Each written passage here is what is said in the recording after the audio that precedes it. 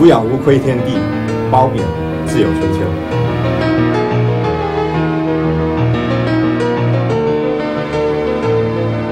到台湾深造，我相信是很多大马华裔子弟梦寐以求的一件事情。但是不晓得，我今天的嘉宾，也就是大马留台联总会长姚迪刚会长哦，当初是为什么会到台湾念书呢？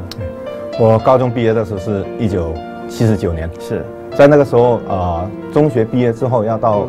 要升大学的时候，没有那么多选择，不像现在的话，有很多学院，还有很多双年课程。是那时候学生的选择，我记得班上的学生他们有一些到英国啊、啊、加拿大、纽啊、纽西兰、澳洲之类的国家。是可是对我们来说的话，我们家境不怎么样好的，到这些国家说实在的是没有这个能力啊。啊，那我在家里边的话，我们有三七个兄弟姐妹，三个男的三兄弟三兄弟对啊，都准备要升学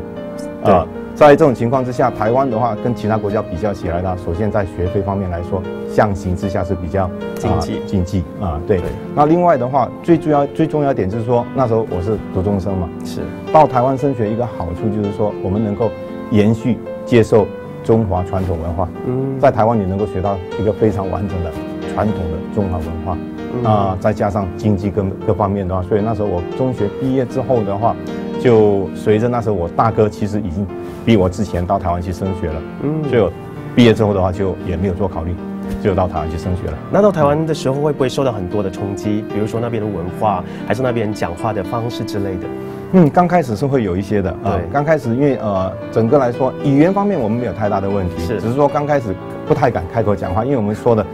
腔调不太一样。对对一开口人家觉得哎怎么怪怪，你哪边来的 啊？这种感觉啊，语言方面有差距，可是在呃在书写方面对是啊、理解方面来说的话，其实